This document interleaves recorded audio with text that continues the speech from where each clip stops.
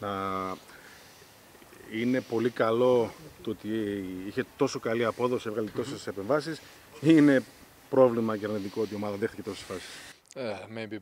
Ε, ίσως είναι και τα δύο και καλό και κακό. Εμείς προσπαθούμε να συνεχίζουμε τη, την προσπάθεια να αποδεικνύουμε τους εαυτούς μας μέσα στο, στον αγωνιστικό χώρο.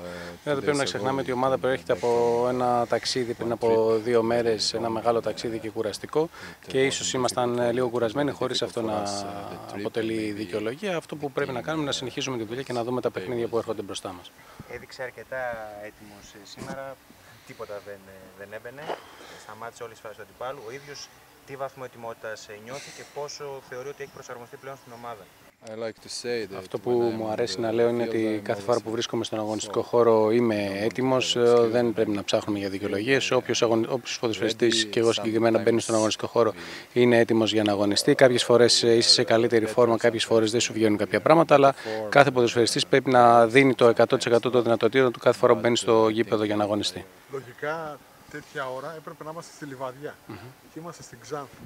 Ε, πώς σχολιάζουν έτσι μέσα στην ομάδα το ότι δεν αρχίζει το πρωτάθλημα και αν πιστεύεις ότι αυτό είναι κακό για να βρει πιο γρήγορα τη φόρμα της η ομάδα; Ε, Όταν είχα πάει στην Ιταλία, επίσης είχε συμβεί το ίδιο πράγμα. Είχε καθυστερήσει η έναρξη του, του πρωταθλήματος. Είναι πράγματα που εμείς οι ποδοσφαιριστές δεν μπορούμε να επηρεάσουμε και δεν μπορούμε να κάνουμε τίποτα γι' αυτά. Το μόνο που έχουμε να κάνουμε είναι να συνεχίζουμε την προπόνηση, να δουλεύουμε σκληρά έτσι ώστε όποτε παίξουμε να παρουσιαστούμε έτοιμοι στον αγωνιστικό χώρο. Η ομάδα έχασε την πρόκριση στο Champions League, ίσως την έκανε και δώρο κερδίζει μάλλον την πρόκριση για τους ομίλους του Europa League.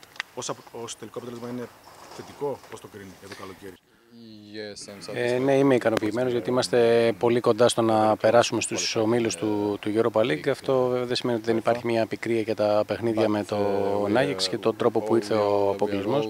Θεωρώ ότι ήμασταν ε, άτυχοι στα συγκεκριμένα παιχνίδια, ειδικά στο παιχνίδι στην έδρα μας. Το 1-2 είναι ένα πολύ άτυχο αποτέλεσμα, αλλά δείξαμε ότι γυρίσαμε σελίδα. Παίξαμε με τη δυναμό της Φλίδα, κερδίσαμε και αυτό είναι πολύ θετικό για μας.